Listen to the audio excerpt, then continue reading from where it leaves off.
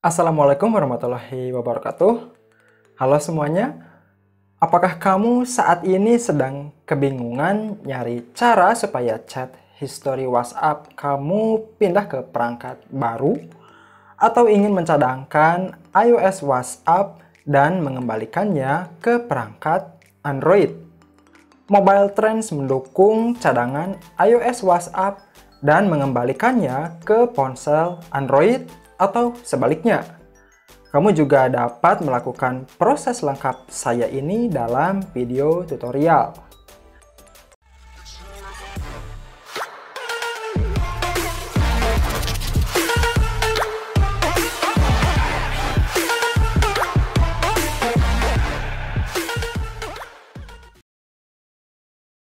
Oke, langsung saja ke poin pertama, cara mencadangkan pesan WhatsApp baik itu dari iPhone ataupun Android dan mengembalikan obrolan tersebut ke device baru kamu.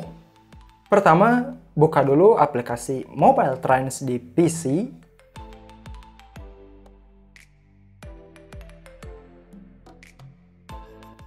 Dan pilih modul WhatsApp Transfer. Kemudian kita memilih cadangkan pesan WhatsApp di bawah tabnya WhatsApp ya.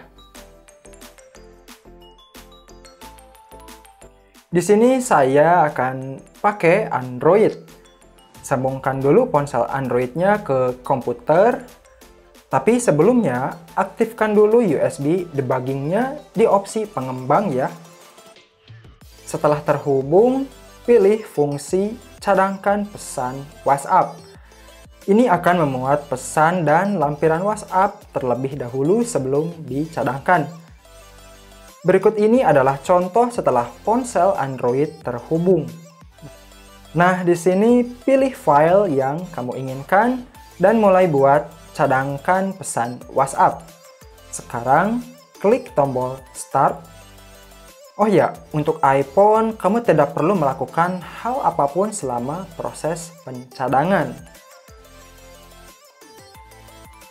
Pada perangkat Android, akan menanyakan cara membuat cadangan secara detail setelah kita mengklik Start dan muncul pop-up gambar seperti ini.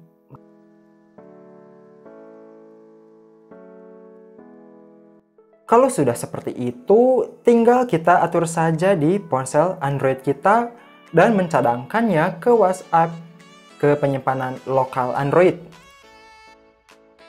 Setelah itu, masuk ke WhatsApp di perangkat Android dan kembalikan data WhatsApp dari penyimpanan internal ponsel dan tap Next.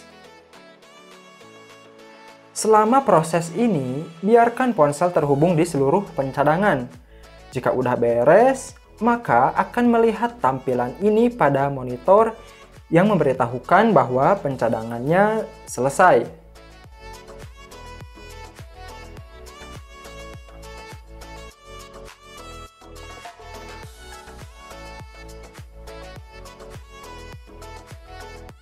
Karena pesan WhatsApp tadi di Android udah di backup ke aplikasi Mobile Trends, Selanjutnya kita pindahkan ke iPhone. Pilih fungsi Restore to Device. Di bawah tab WhatsApp, lalu hubungkan ponsel Apple atau ponsel Android kamu ke komputer.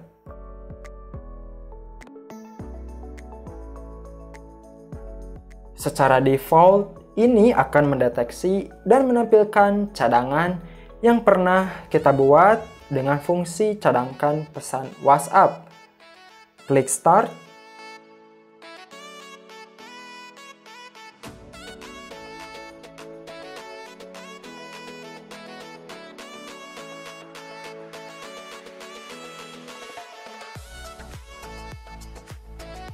Dalam proses ini, kita tunggu saja sampai selesai mengkonversi data ke iPhone.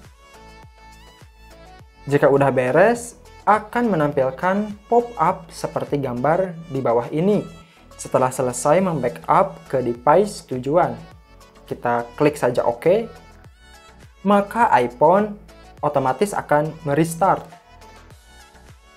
Setelah itu percakapan dari Android sudah masuk ke iPhone. Tapi tidak termasuk nomor telepon WhatsApp yang ada di Android ya. Bagaimana? Mudah kan? Cara ini bisa kamu manfaatkan jika ingin ganti smartphone, namun tidak ingin kehilangan data penting dalam aplikasi WhatsApp tersebut. Oh ya, jika kamu tertarik untuk mencoba Mobile Trans ini, Link downloadnya telah saya simpan di kolom deskripsi. Oke, sekian dulu untuk video hari ini. Jangan lupa subscribe, like, komen, dan share ya video ini ke teman kamu. Wassalamualaikum warahmatullahi wabarakatuh.